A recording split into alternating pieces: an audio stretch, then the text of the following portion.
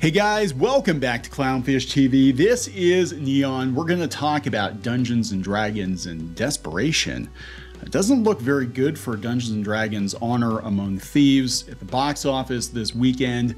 Of course, it's going to be sandwiched between John Wick 4, which is doing very, very, very well, and the Super Mario Brothers movie, which is going to destroy all the competition next week.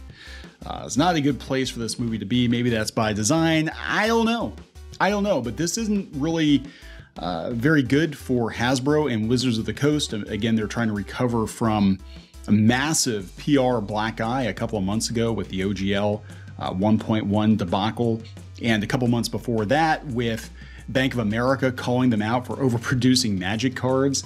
And uh, this is coming hot on the heels of them doing their direct. Uh, the D&D Direct 2023 where they announced a whole bunch of stuff. Uh, they're getting pretty desperate here, guys. They're bringing they're bringing Vecna back because Stranger Things, right? So they got to bring Vecna back because all the kids know Vecna. And um, speaking of uh, kids, Minecraft. you got to do D and D Minecraft. Um, you know, because of course, of course. So we're gonna we're gonna talk about this. Mostly, we're gonna talk about the box office. Uh, before we get into it any further, please subscribe for more pop culture news, views, and rants. And we also have to pay some bills around here, guys. So listen to this message from our sponsor.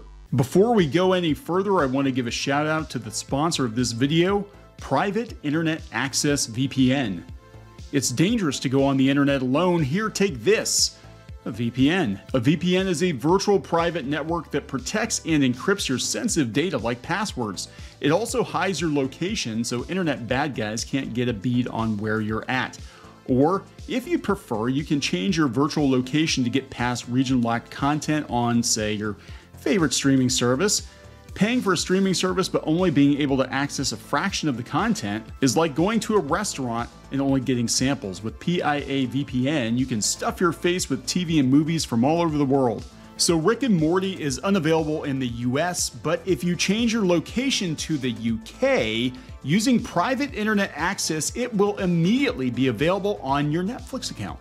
You can use one private internet access subscription to protect an unlimited amount of devices at the same time. All the content you can binge on and an extra layer of protection to keep prying eyes off your data. You really can't afford to surf without a VPN these days. Check out PIA VPN now at piavpn.com backslash clownfish.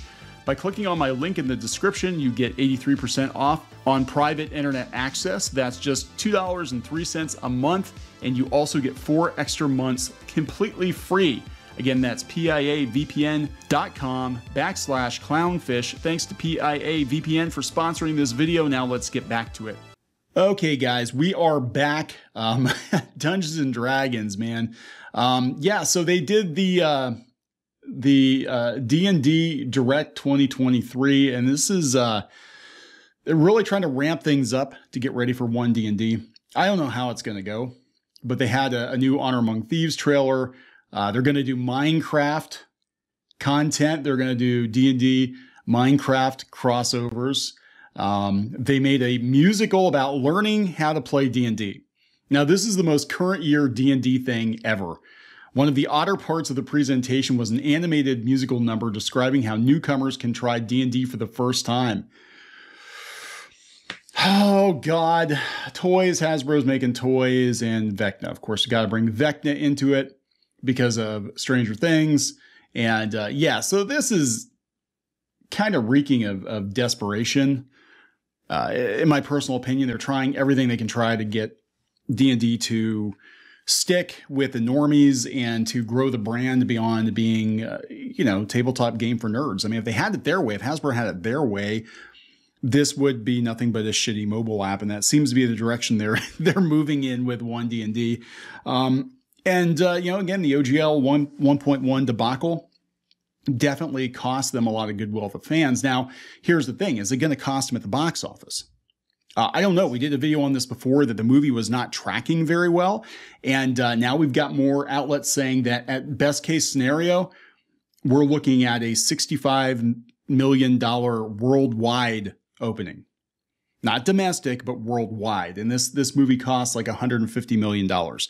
And this was produced by eOne, which is Hasbro's entertainment arm, their movie arm, and they are looking to sell that off. Now, to be completely fair, because we're going to get people in the comments being like, "You just hate D and D and you're evil clownfish." Our reviewer Jake James Lugo actually gave it a pretty good score. Um, he did. He saw it. He said the movie's actually not that bad. The problem is, eh, it's seven out of ten. Um, the problem is that uh, very few people are even aware the movie's coming out. D&D is still not a, a brand that resonates with normies. It's still considered a geek thing, and uh, their core fan base is uh, pretty pretty fragmented at the moment. I'm going to be nice, um, but yeah, this is coming from the Wrap. Uh, Dungeons and Dragons faces a perilous quest to box office success. Uh, Paramount's fantasy adventure has great reviews, but now must sell itself to casual audiences who have never rolled for initiative. So, uh, Honor Among Thieves has received rave reviews since its South by Southwest premiere and has all the makings of a crowd pleasing spring hit, but with a $150 million production budget, success is not a guarantee. At the start of the week, box office trackers were projecting an opening weekend in the low $30 million range, nowhere near enough for the blockbuster to turn a profit. Since then, reviews from critics have come in praising the film as a fun adventure, very accessible to audiences who have never played D&D while rewarding fans of the tabletop game with plenty of nods to the mythology of the Forgotten Realms. D&D was made for everyone, not just fans. That's one of the reasons why we went with this release slot. We felt that the South by Southwest premiere would provide the foundation for word of mouth that can keep spreading over the next few weeks. Uh, Paramount told the Wrap. So far, the film is at 91% critical, 94% audience, with the latter coming from several dozen reviews from public sneak preview screenings last this uh, past weekend. I actually uh, could have gone to it, but I didn't feel like driving, so I, I didn't go. With the buzz, tracking has risen slightly to 35 to 40 million. Um, so rivals tell the Wrap they think it might be on the upper end of that. That's still not enough. Um, that's still not enough. That's actually well well below Scream Six, and uh, not good. So they said a deal breaker could be made worse if John Wick Chapter Four and the upcoming Super Mario Brothers movie end up being more direct competition to D&D than they anticipated. Uh, absolutely. Both of those movies cross into the uh, same demographic, right?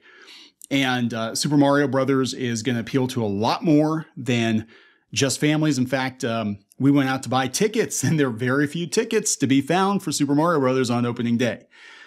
It looks like it's going to be a huge hit. John Wick 4 is doing way better than anyone could have predicted the movie's doing phenomenal. It's it's it's doing very very well, and and uh, John Wick Five is almost guaranteed at this point. I think that it's definitely gonna it's definitely gonna take a bite out of D and D's business. Um, on the flip side, there's a scenario in which D and D is able to build momentum as a four quadrant blockbuster that carries it through the release of Super Mario Brothers next weekend and in April where the competition will be lighter until Guardians of the Galaxy 3 comes out. Uh, no, I don't think that's gonna. I don't think that's gonna happen. If that happens, D&D could enjoy a run similar to Sony's Uncharted, which last year opened to 44 million in February and finished with a modest theatrical profit uh, of 148 million domestic and 401 million worldwide. Um, yeah, I don't know. They say there are big differences. D&D has Chris uh, Pine uh, Uncharted had Tom Holland just two months removed from Spider Man No Way Home. Uncharted also came out in the far less crowded box office market. Um, if D&D can draw substantial walk-up ticket sales thanks to pre-release reviews and opening day audience buzz and secure an opening of at least 40 million, a profitable theatrical run is still on the table. In that case, it probably won't be until the weekend after the release of Super Mario Brothers. Yeah, so I, I don't know how it's going to do. I'm going to be completely honest. I I can't say it's a terrible movie. Everybody I've talked to that's seen it actually said it's not bad. It's not a bad movie, but there's not a lot of buzz around it. And it seems like, I mean, I've seen some commercials for it, but it seems like Hasbro's not throwing the bucks at it. And again, the production company that produced this movie, Hasbro's selling it. They're selling it off. They put it up for sale before D&D came out. I think they know they're not going to make their money back on this movie, you know, and uh, it does look kind of desperate-ish. Some of the stuff they're doing, I mean, it just doesn't make sense, you know. So, I mean, God, they got Transformers and Magic the Gathering now. It's like let's just like cross promote all the Hasbro brands and the Hasbro verse, and it's just it's really really dumb.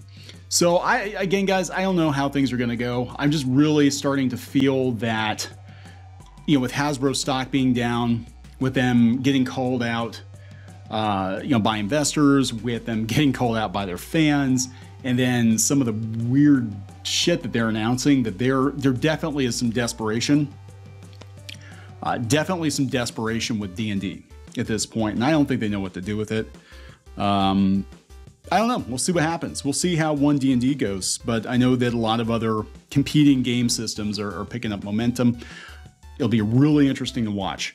I'm going to wrap this one up. Uh, please subscribe for more pop culture news, views, and rants, guys. Uh, please check out my link below. That's piavpn.com backslash clownfish. Uh, they're good people. They're supporting the channel. We'll talk to you later. Help support the channel Go to thereef.support and get early access to podcasts, videos, and other content. That's thereef.support.